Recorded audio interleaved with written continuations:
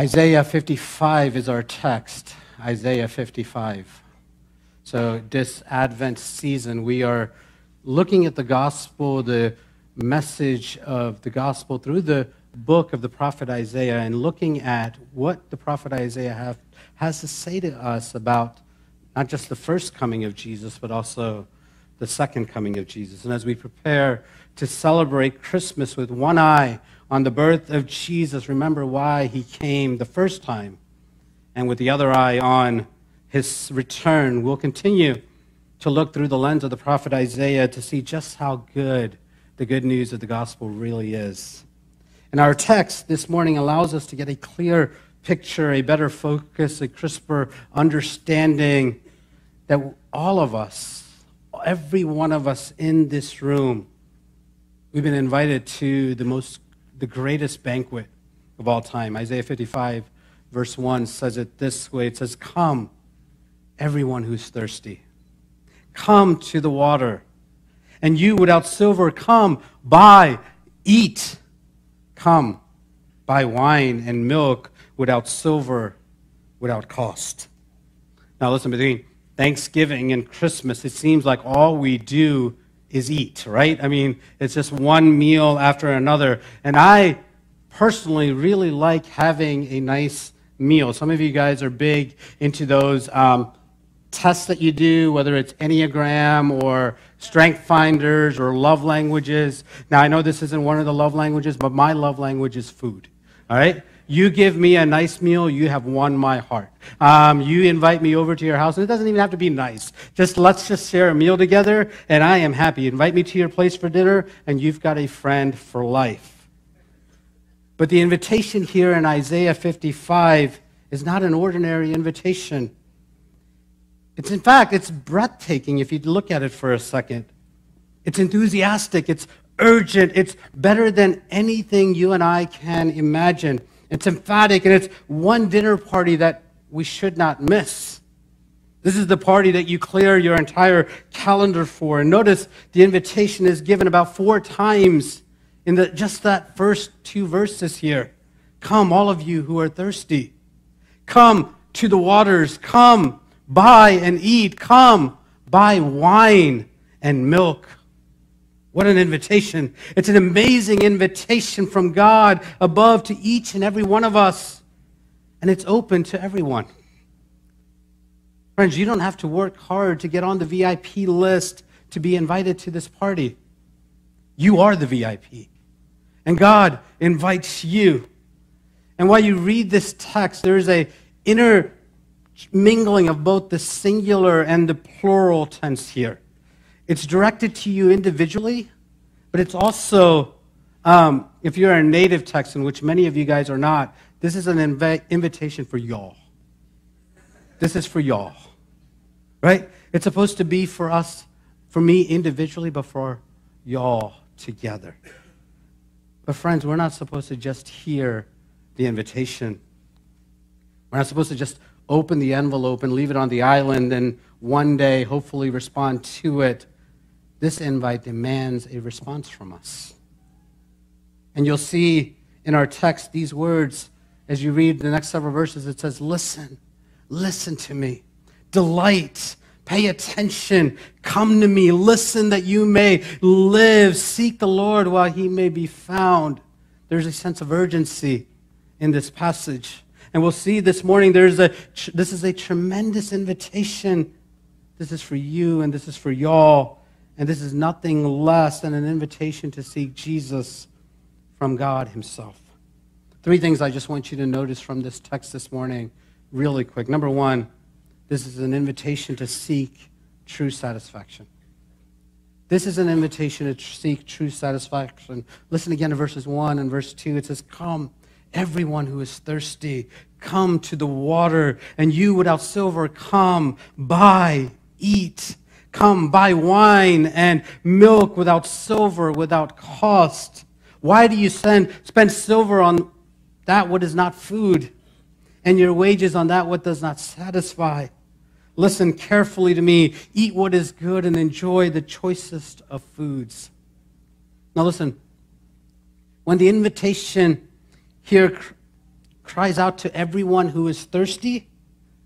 The point isn't that there are some people who get thirsty and need this drink.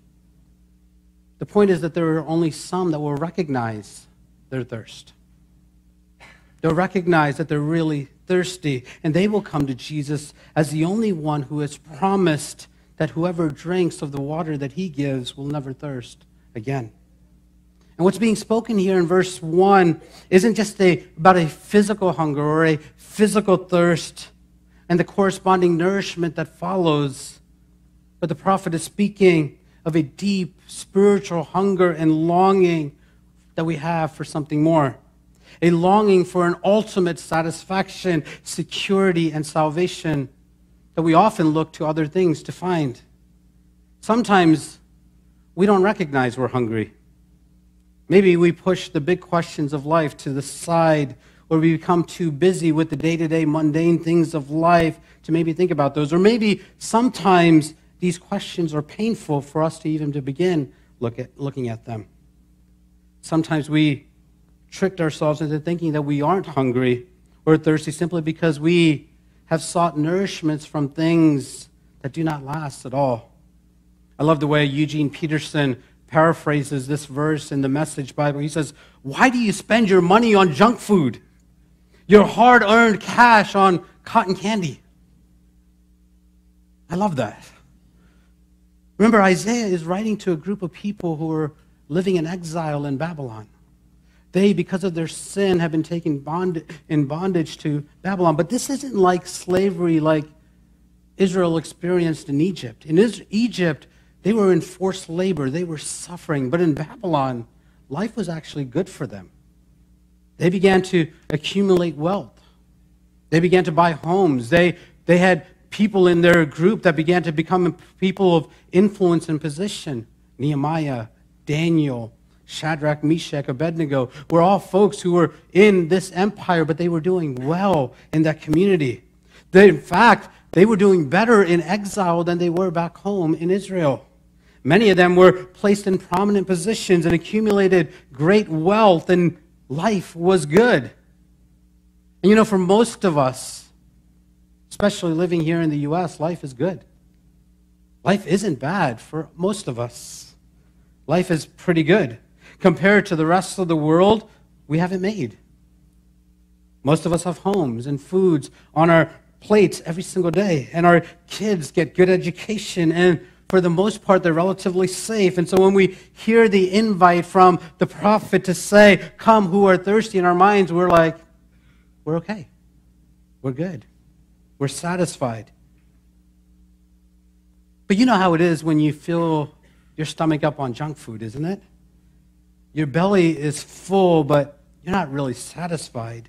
When you drink soda, you don't really get quenched at the end of it. In the end, you're actually just poisoning yourself, truth right there, with artificial sweeteners and flavors and fillers. And let's be honest, when you're munching away at a bag of chips and you're chugging away that quote unquote soda that basically takes, tastes like medicine, aka Dr. Pepper, and somebody says, um, Hey, I'll give you a fresh, healthy meal of collard greens and squash and organic, organic tofu and, for, and all of this for free. We're like, that's okay. We're good, right?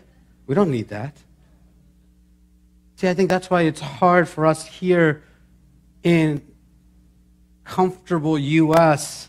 to really buy sometimes into the kingdom of God that invites us into everyday living with Jesus to say, hey, would you come broken, needy, thirsty, and I will give you what, you can never, what can never satisfy you. See, we have a tendency in our culture and in our society to take good things and turn them into God things. And they give us the illusion of being full, but always leaves us wanting, just like junk food does. Our finances, our resources, our materials can be a great gift, but rely on them for your ultimate satisfaction, for your ultimate security, for your ultimate salvation. And friends, they will leave you on your own. Your relationships can be an incredible gift from God for you, but rely on them for your ultimate satisfaction and security and salvation. And friends, they will disappoint you, they will fail you. Your careers that you pursue can be a great gift, but rely on them for your satisfaction and your security and your salvation, and they'll disappoint you. Your family and your friends are incredible blessings in your life, but if you rely on them for satisfaction, if you rely on them for joy, if you rely on them for security and salvation, if you rely on them for your identity, they're going to leave you wanting. This is why God says through the prophet Isaiah, why spend money on that which is not bread? It's fake. It's not even real. Why labor for that which does not satisfy? There's plenty of that in our world. It can give an illusion of satisfying us, but friends, they never really will. Time and time again throughout the history of Israel, they turned to all sorts of things to find salvation. And each and every single time, these idols promised them something that ultimately failed them. They satisfied them temporarily, but then they disappointed. What are the idols that you think that you have to have for you to have a good life? What are the things that you would say, God, if you would just give me this, then life would be good?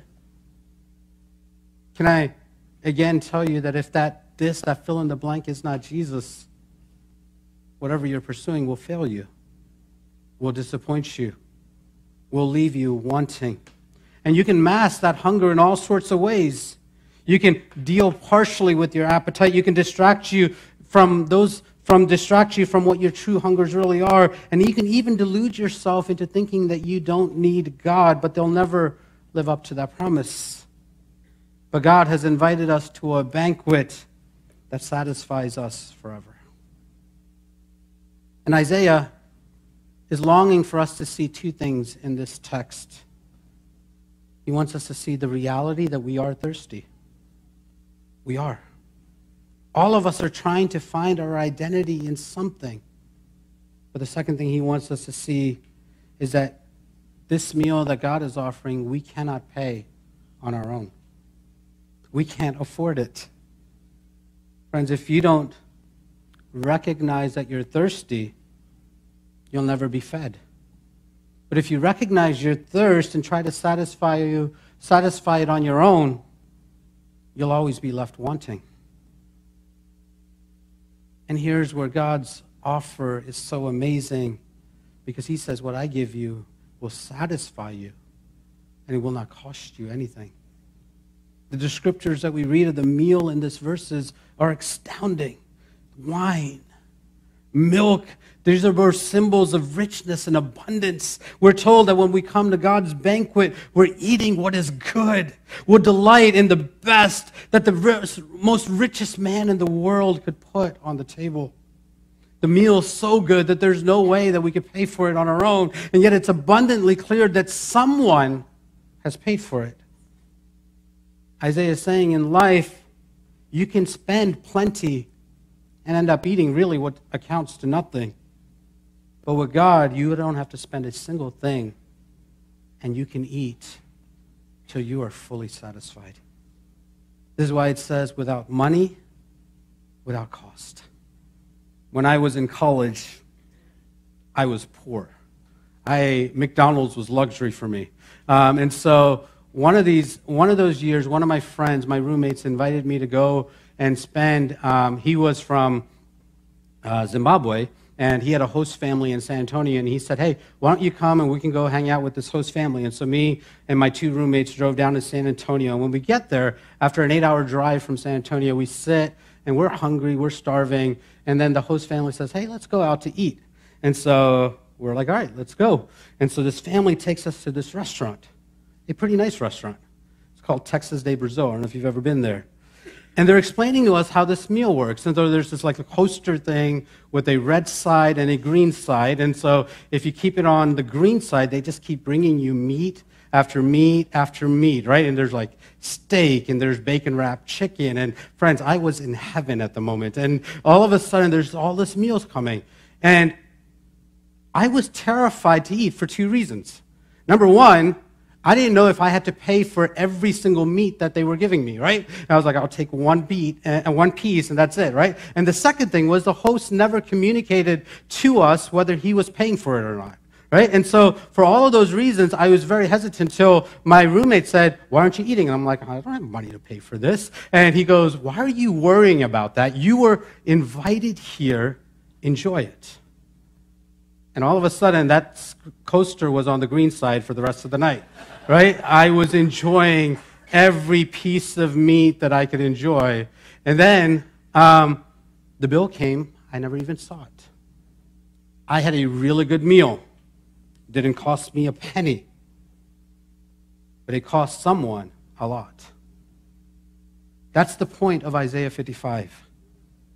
God is saying, You've been filling yourself with McDonald's and Burger King and Wendy's, and they never satisfy you. And what I'm offering you is better than Texas de Brazil.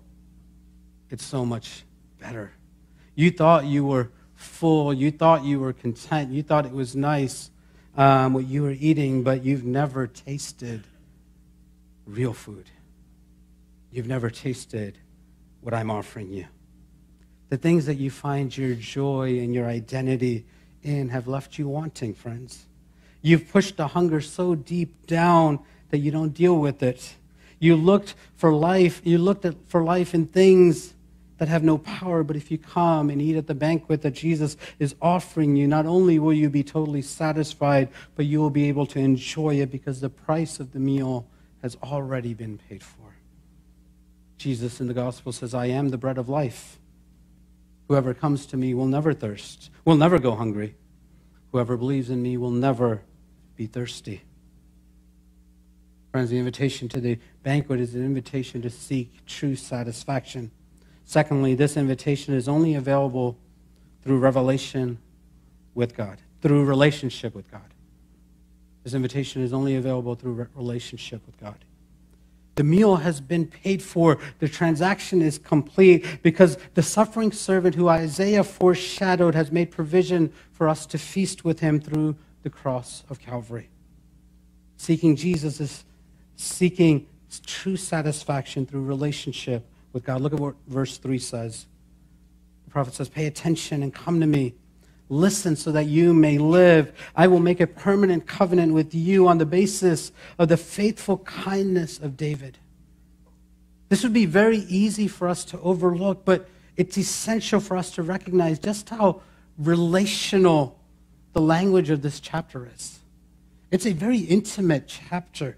The entire chapter is a personal conversation that God is having with his people. In the past, God made a covenant through King David. And it was that the people would have a permanent household, a homeland safe from threats.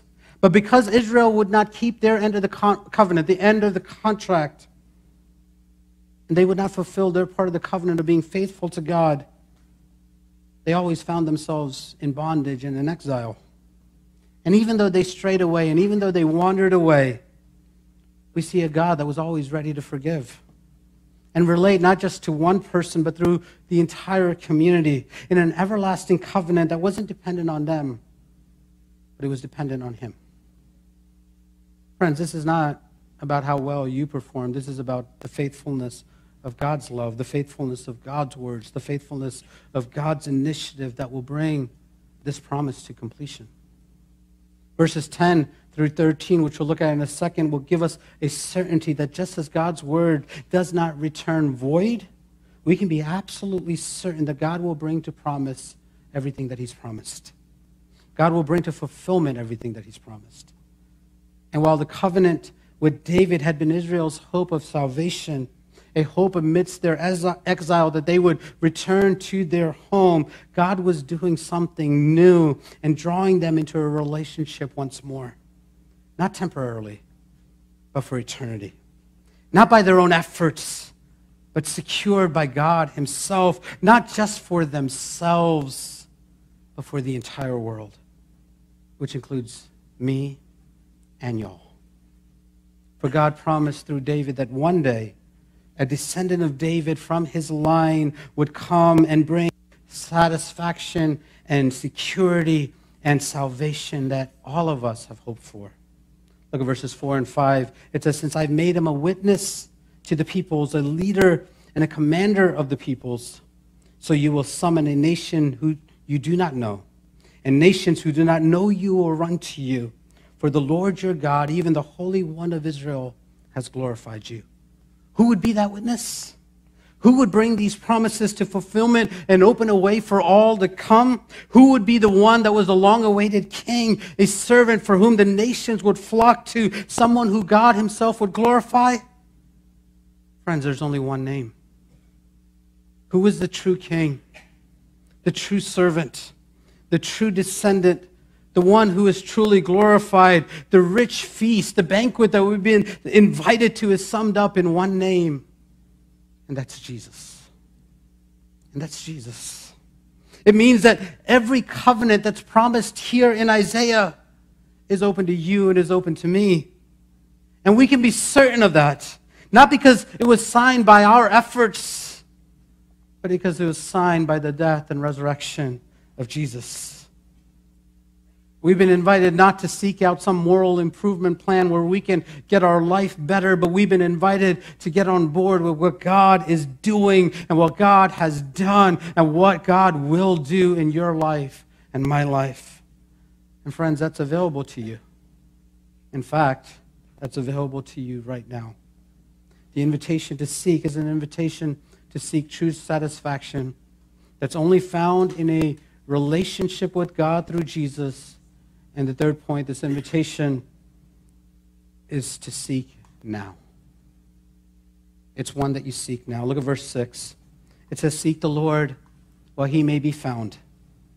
Call to him while he may be near, while he is near. Let the wicked one abandon his ways and the sinful one his thoughts. Let him return to the Lord, for he may have compassion on him, and to our God, for he will freely forgive. For my thoughts are not your thoughts, and your ways are not my ways, says the Lord. This is God's declaration.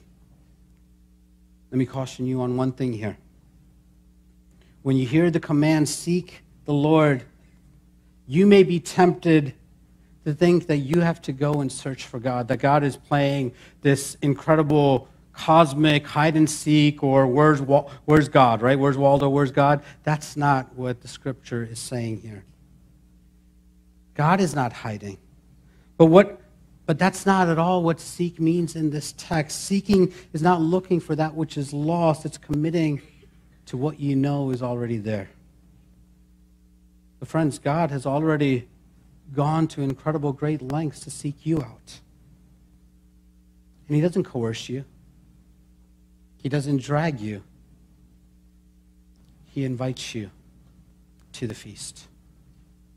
He invites you to the banquet. And the time to RSVP, the time to respond to the invitation, friends, is now.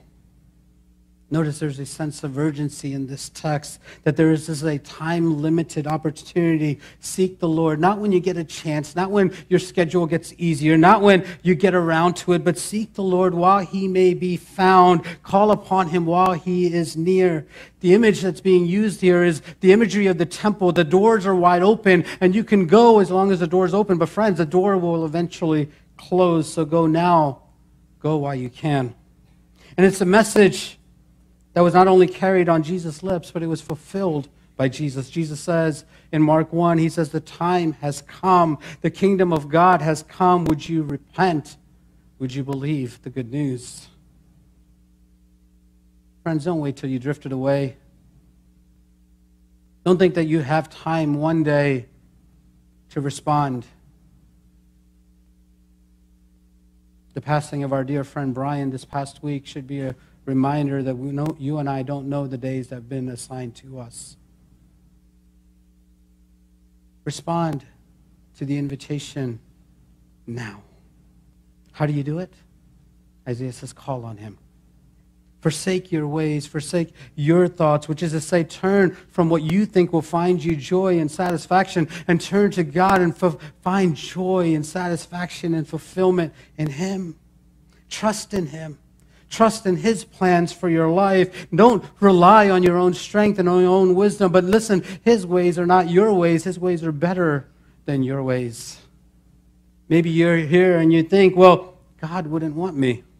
That I've messed up too much, that I've screwed up too much. But, friends, that is simply not true. We often erect all sorts of barriers to God, even running away from God. But the invitation is God is saying, Come. Come, feast. The wicked are those who oppose God's plans. They resist Him, they resist His invitation. But God says, Let go of your ways, let go of your plans. Turn. Turn to me. For when you do that, when you come to God with genuine repentance, what you receive is not condemnation or judgment for all the ways you failed or screwed up, what you receive is pardon. What you receive is forgiveness. What you receive is relationship with God forever. What you receive is that you become adopted, where you look up and you can say, He's my father, I'm his son. I'm his daughter. So, friends, can I invite you? Maybe you've been in church your entire life, but you have lost the joy of your salvation. You have forgotten what it means to find joy and identity and salvation in Jesus. And while you might say, I don't sin and I don't do a lot of crazy stuff, you found your identity in your work. You found your identity in your name. You find your identity in your wealth. You find your identity in your family. And Jesus says all of those will fail you. All of those are good things, but they will disappoint you. But if you come to me and find joy in me, in fact, Scripture says, seek first my kingdom and all the other details of your life I will take care of. But if you find satisfaction and joy in me, you will be full. You'll be full. The claim of Jesus is that he is the only way. There is no other way. He's the only one who can truly satisfy for which we ultimately thirst for. The text that we read from is from the CSB translation. It says that God will freely forgive us. But it literally means that God has abundantly pardoned us. That it's, He is more than sufficient. He has multiplied out our forgiveness, and He has addressed us to the deepest needs of our heart. But, friends, we need to turn to Him. As I close, let me just read the last few verses here. Verses 10 says, For as high as for as heaven is higher than the earth, so my ways are higher than your ways, and my thoughts than your thoughts. For just as rain and snow fall from heaven and do not return there without saturating without saturating the earth and making it germinate and sprout and providing seed to sow and food to eat, so my word that comes from my mouth will not return to me empty but it will accomplish what I please and will prosper in that what I send it to do. And you will indeed go out with joy, and you will be peacefully guided. The mountains and the hills will break into singing before you and all the trees of the fields will clap their hands. Instead of the thorn bush, a cypress will come up. Instead of the brier, a myrtle will come up. This will stand as a monument for the Lord, an everlasting sign that will not be destroyed. Friends, you and I have been invited to the greatest banquet of all time. It will not leave you hungry. It will not fail to satisfy you. It will not run out of food. And you don't have to pick up the tab. All you need to do is RSVP. So often we delay in RSVPing these days in hopes of something better coming along our ways. But can I tell you that there is no better offer than what Jesus gives? Because only in Him and through Him will you find ultimate satisfaction, security, and salvation. What He has begun, He will bring to completion, and He wants you to be a part of it. And this morning, the invitation is that you would trust Him instead of all the other things in your life that will ultimately fail. And while He is waiting for your answer, He will not wait forever. Seek the Lord while He may be found. Jesus says in Revelation, Here I am. I stand at the door and I knock. If anyone hears my voice and opens the door, I will come in and I will eat with that person and they with me. Would you make sure this morning before you leave here that you have RSVP'd to that invitation? Would you make sure that you know that you have RSVP'd, not because of all the good works that you do or how often you come to church or any of that stuff? I'm talking to you, church folks, religious folks today would you make sure that you are you know that you're coming not because of what you've done but simply because of what jesus done has done? In a few moments the there's an orchestra that's going to come up and they're going to play a piece. And so we're going to delay on communion just for a second. But as they play would you just meditate on the words? Would you picture would you picture just this huge banquet table with every food that you love? Right? All the foods you hate are not there, just the food that you love. And there's a space that's reserved for you there. Would you allow the Holy Spirit to speak to you to say, have, you, have I RSVP'd yet? Have I responded? And if you haven't this morning, can I invite you to respond? And respond to Jesus. Because the invitation is for you. It's for you this morning.